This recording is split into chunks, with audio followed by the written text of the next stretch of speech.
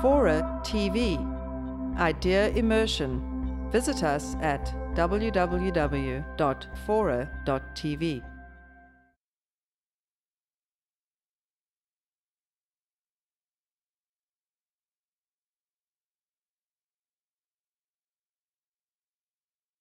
So this is a poem which you get free in this book. it comes, poems all come free with the stories. Um, and it's about what to do if you find yourself inside a fairy tale. And it's called Instructions. Touch the wooden gate in the wall you never saw before. Say please before you open the latch. Go through. Walk down the path. A red metal imp hangs from the green painted front door as a knocker. Do not touch it, it will bite your fingers. Walk through the house. Take nothing. Eat nothing. However, if any creature tells you that it hungers, feed it. If it tells you that it is dirty, clean it. If it cries to you that it hurts, if you can, ease its pain.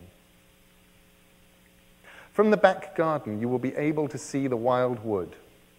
The deep well you walk past leads down to winter's realm. There is another land at the bottom of it. If you turn around here, you can walk back safely. You will lose no face. I will think no less of you. Once through the garden, you will be in the wood. The trees are old. Eyes peer from the undergrowth. Beneath a twisted oak sits an old woman.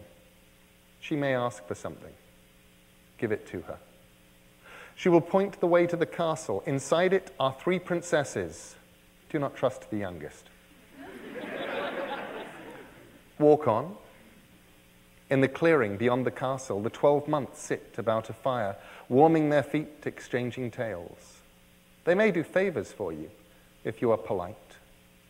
You may pick strawberries in December's frost. Trust the wolves, but do not tell them where you are going. the river can be crossed by the ferry. The ferryman will take you. The answer to his question is this if he hands the oar to his passenger, he will be free to leave the boat. Only tell him this from a safe distance. if an eagle gives you a feather, keep it safe. Remember that giants sleep too soundly, that witches are often betrayed by their appetites. Dragons have one soft spot somewhere, always. Hearts can be well hidden, and you betray them with your tongue. Do not be jealous of your sister. Know that diamonds and roses are as uncomfortable when they tumble from one's lips as toads and frogs colder too and sharper, and they cut. Remember your name. Do not lose hope. What you seek will be found. Trust ghosts. Trust those that you have helped to help you in their turn. Trust dreams. Trust your heart and trust your story. When you come back, return the way you came. Favors will be returned, debts be repaid. Do not forget your manners. Do not look back. Ride the wise eagle, you shall not fall. Ride the silver fish, you will not drown. Ride the grey wolf, hold tightly to his fur. There is a worm at the heart of the tower. That is why it will not stand. When you reach the little house, the place your journey started, you will recognize it, although it will seem much smaller than you remember.